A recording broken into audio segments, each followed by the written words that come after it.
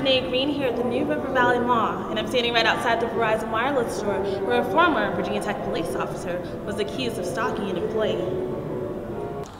Virginia Tech former police officer has been charged of stalking a 22-year-old woman.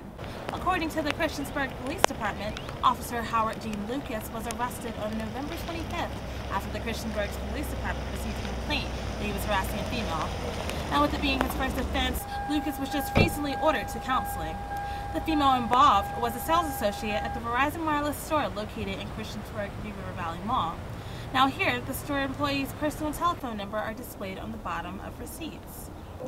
Harold Maloney, a New River Valley Mall customer, felt that putting an employee's information on the receipt was more information than the customer actually needed. And I think not.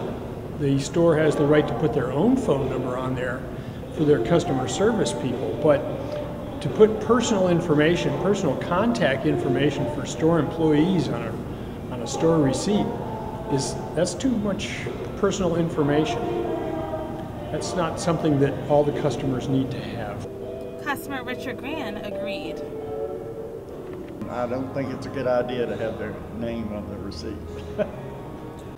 Well, see, if Verizon Wireless has future changes to their policy. I'm Jenae Green reporting for the Newsfeed.